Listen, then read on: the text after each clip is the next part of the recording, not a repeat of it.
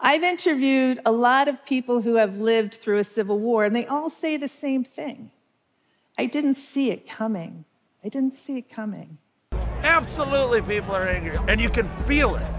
You can feel the, the rage, the madness. Oklahoma City broke wide open when a terrorist truck bomb changed us forever. Razor wire defense lines were reinforced Wednesday in Eagle Pass, with the federal government still not sure exactly which areas along the border Texas will let federal agents access, and the Texas governor not giving an inch. It's time for Florida to be its own country. Well, here's why Florida's breaking away from the U.S. is not only nearly impossible, but it's a bad idea. One, Florida would no longer have a military. Two, we would lose all of our federal money for things like education. And three, this would become useless. Florida would need its own currency. We'd become the equivalent of a third world country. Public opinion on Californian independence has never neared a majority. But there have been enough fringe movements seeking secession that the question has been included in legitimate political polling, reliably demonstrating surprising support for the idea. Between 14 and 32% of respondents were for Californian nationhood. It's time we talked about it. It's time that we considered what another potential civil war in America might look like. Are we heading in that direction? Now, surely we can avoid that, right? Right? Let me share my take on this. More importantly, let's discuss this and try to find real practical solutions that you can begin to implement now to prepare if the unthinkable were to occur in our country. Download the Start Preparing Survival Guide to help you prepare for any disaster. I'll post a link in the description and comments section below, or visit cityprepping.com forward slash get started for a free guide to help you get started on your journey of preparedness. If you're new to this channel, my name is Chris, and on this channel we discuss emergency preparedness, aka prepping. Um, when I first started preparing, I was trying to get ready primarily for natural disasters that might occur. Uh, the area that I live in is very prone to a lot of natural disasters, and it's just kind of a common thing for many of us in this area to just prepare. It's it's uh, encouraged even at local levels. But over the last 10 years, however, I've begun to prepare increasingly more for man-made disasters as I've watched hostilities, animosities, and rhetoric flare up. I mean, look, at the events of the last several years, we have good reason to feel frustrated and, more importantly, to be concerned about our collective future. We have had a pandemic. We had lockdowns, which resulted in losing valuable time that we can never get back. We watched our supply chain fall apart. We had contested elections. We're witnessing war in Ukraine and the Middle East. We have witnessed shouting matches on television and grocery stores and local school board meetings and from so many political platforms that we often forget that compromise and unity are not dirty words, but principles that we once lived by and we are encouraged to strive for. And it sometimes seems as if people have lost their minds with anger and demonizing others. But sometimes we've forgotten how to find common ground through discussion. And many people find a villain in everything, questioning every motive, spreading misinformation faster than they spend time discerning the truth. Now, the acclaimed director Alex Garland's movie Civil War premiered at South by Southwest and will soon be open at theaters nationwide. It's an election year release of a violent vision of a near future America at war with itself, and honestly, based on the trailers, doesn't feel too far from what we're witnessing in our country right now. But that's just Hollywood. We must ask ourselves if that could happen here and if we are clearly heading in that direction. Though theatrical representations of events, they vary widely, we should consider this movie at least, if anything, a conversation starter. Do we really want to go there? Can we bridge divides to prevent that outcome?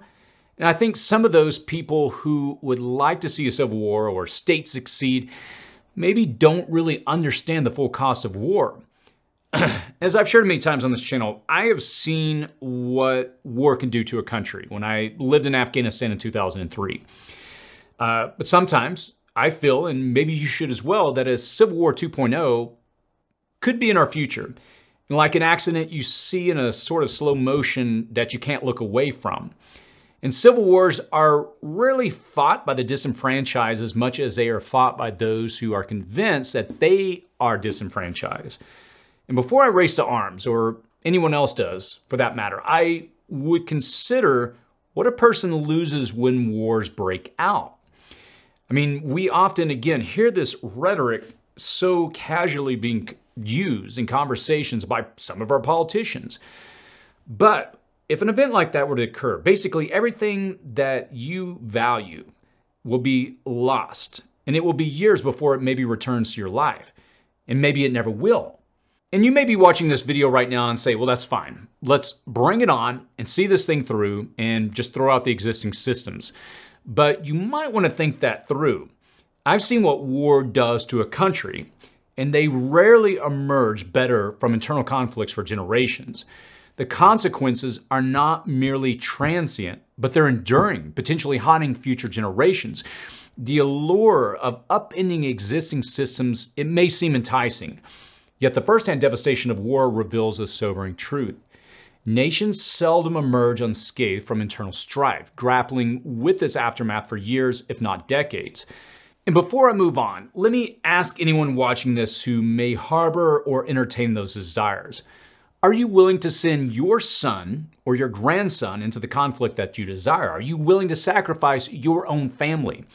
And it's something to think about, especially when sitting in the comfort of your own home and wishing someone else to die on your behalf. But let's move on.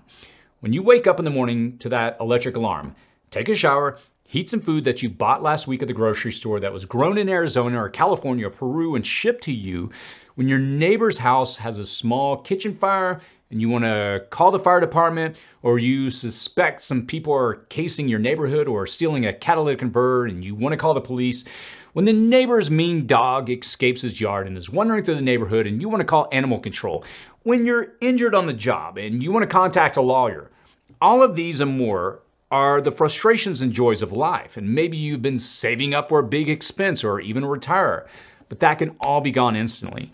Do you or one of your family members rely upon a medication to keep them alive? The minute an extensive civil war breaks out in a country, all of these things that you and the generations before you have worked and built are gone. Everything you have and everything you have built for the future will evaporate. You are on your own you have to be 100% self sufficient from the food and water you consume to protection and fire services. The laws and order of the land are suspended indefinitely, so don't expect justice, peace, or even to have your grievances heard and addressed. Now, look, I know this picture I'm painting is a bleak picture, but it's not out of the realm of possibility just mere minutes after a civil armed conflict breaks out. Whatever militarized forces are fighting amongst themselves, vigilantes, National Guard, militias, private citizens, gangs, the military, or whatever, they don't have time to help you or assist you, and they won't be obligated to either. If you don't trust your neighbor, neighborhood, or town right now, do you think you will when the order unravels? If you've been watching even the events in Haiti play out, it's not too dissimilar from what we're discussing here. Again, having witnessed this firsthand, living in a post collapse nation, uh, the understatement of the year is to say it's pretty bleak. Those with medical conditions, they simply don't make it because there's no infrastructure for them. Life expectancies drop sharply. When I lived in Afghanistan, the average life expectancy was 57 years old, which is not that old. I'm 48 right now, so that would mean I would effectively have another nine years.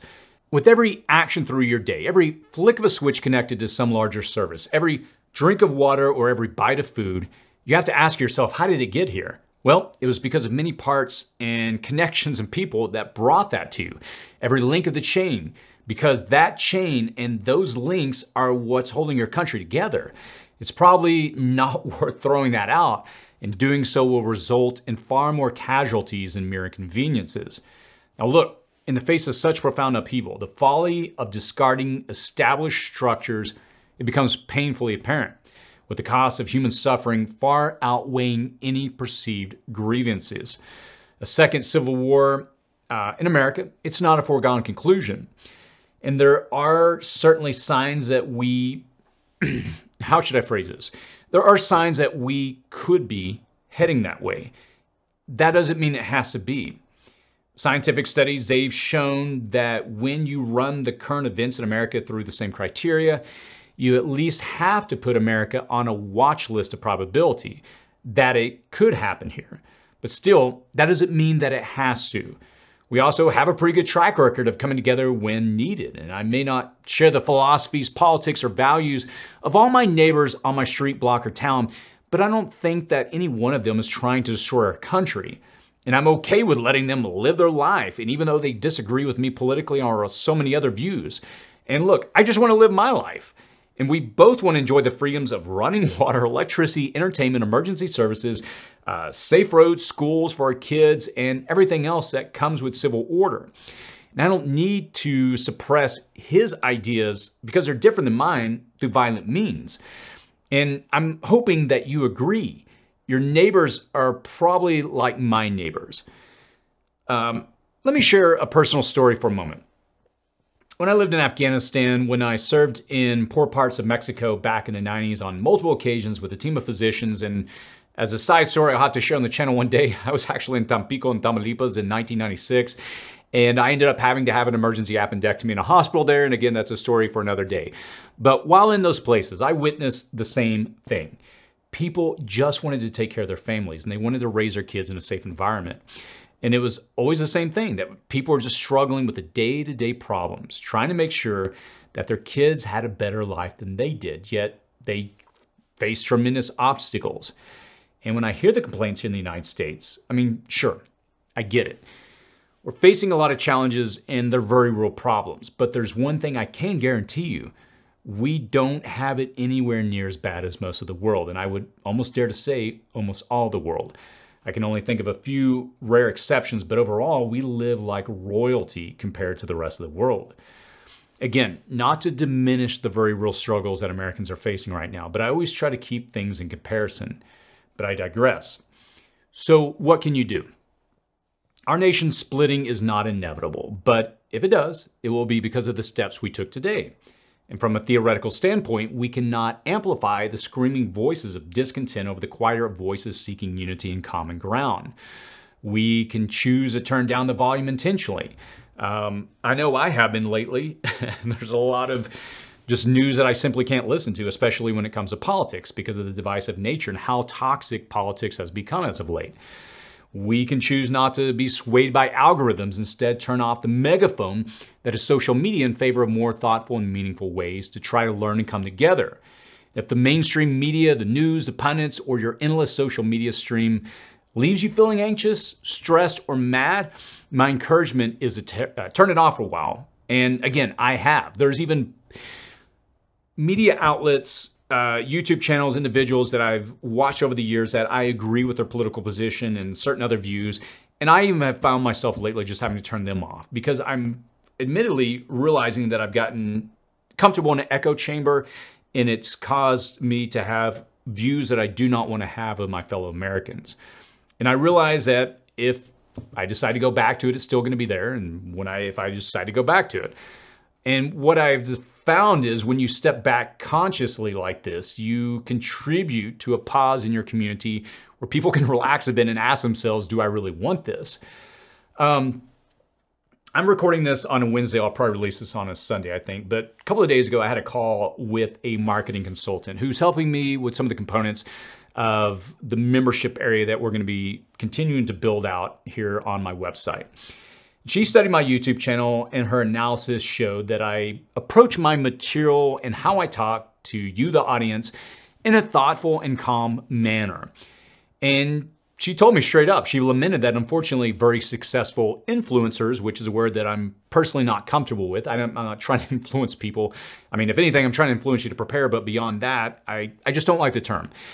She mentioned that I'm again kind of a calm person. I and she has seen in her line of work that the people that are successful, they tend to be extreme and they focus on eliciting emotions from their audience, especially when they push fear or anger. And I understood where she came from and why she said that, but that's again just not who I am.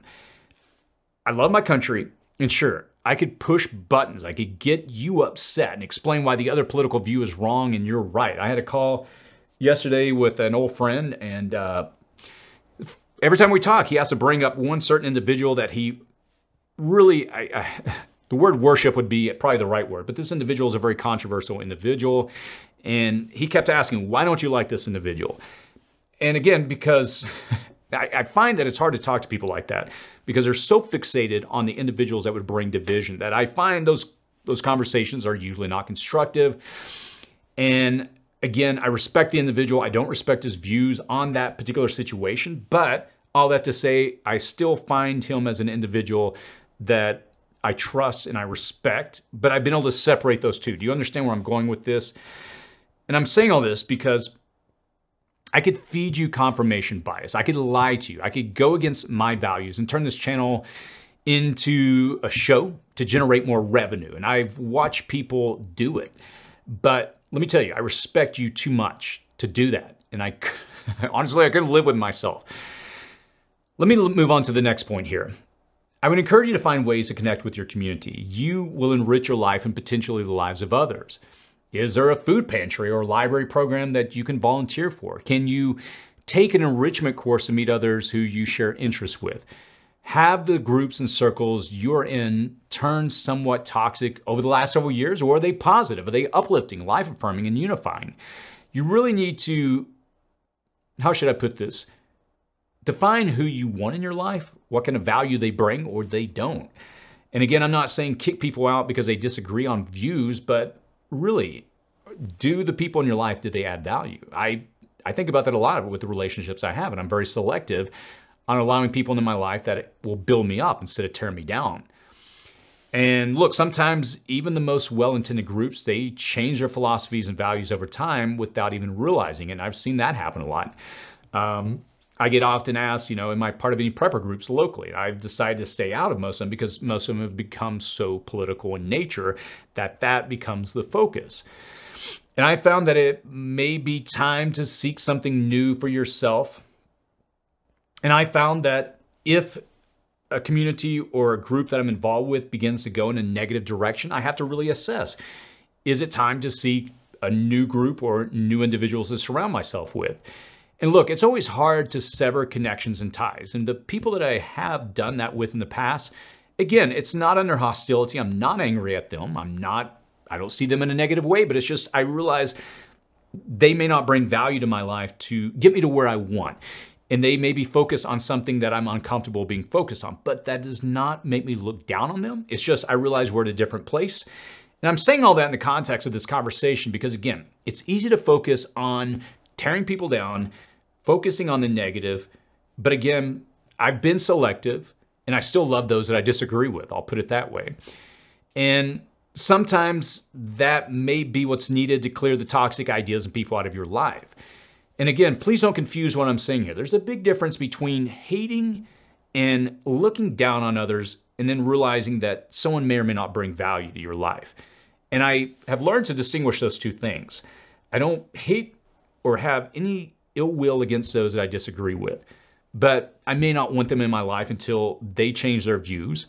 And again, that may sound like an oxymoron, even as I say it out loud, but I think there's a very fine line that we've lost in our country where it's gone from I disagree and I don't want that around me to I hate that individual and wish ill will. And that's a very big difference. So let me try to land this plane here. My encouragement is think about it from a practical standpoint. You can prep like services you rely upon, from food to water to electricity, medicine that might seize up for a week, two weeks, or a month or more. A civil conflict is a man-made disaster, but it can easily be more impactful and life-changing than even the worst natural disasters. You want to focus on what matters most by tending to your resources and skills, and that's you and your family and friends. You focus on the small stuff that unites your group to contribute to the cohesion of the larger group. Will we have a civil war in America? I don't know. And if you had to pin me down on it, and like I tell people all the time, I don't see us being at a point where we see, you know, massive standing armies or anything like that. But it's clear that we are becoming more and more broken. There are certainly a lot of indicators that are pointing that we are going in a certain direction that eight, nine, ten years ago would be unfathomable. And look, maybe it's inevitable, but I don't think it has to be. I'm certainly not going to resign myself and surrender to that. And as a prepper, we have a little bit of an advantage when it comes to surviving disasters, both natural and man made. And you can use your preps to your advantage. And I always emphasize that we can't stop what will happen in the future. That hurricane or that tornado barreling down on you, it's not going to listen to your argument about how much you love a roof over your head. These things come for us, and we can't reason with them or always get out of their paths. But what we can do is focus and fortify our own lives. We can harden off our environments to them. And that being said, with this particular disaster of a civil war potentially looming on the horizon, we don't have to sit around and wring our hands and waste our time and energy focusing on what may come. We can instead focus on making ourselves ready. We can build our community to be more resourceful and prepared. And we can lend a hand to others. And this is the most important part. We can find common ground. The choice of directions you want to take is right now. So what do you choose? Well, those are my thoughts on this. So what are yours? Let me know in the comments section below. And this is not the first time we've covered this because this is not the first time this growing sentiment has been so palatable. I would encourage you to take a look at one of our videos from a few years ago, which I'll post a link to here on the side of the screen, which has more details on what you can expect and how you can prepare for Civil War 2.0 if we would ever see that. I watched it again today and it's certainly aging well. What I said, then we have started to see more and more today. And I would encourage you to take a look at that video and let me know what you think. As always, stay safe out there.